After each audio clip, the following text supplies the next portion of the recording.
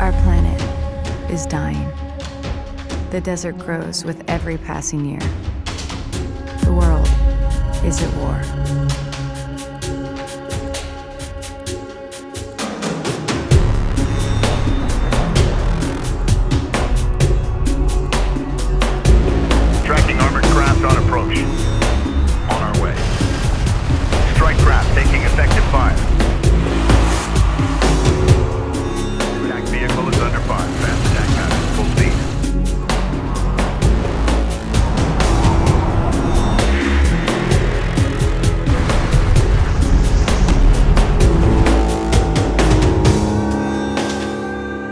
Has been forced upon us.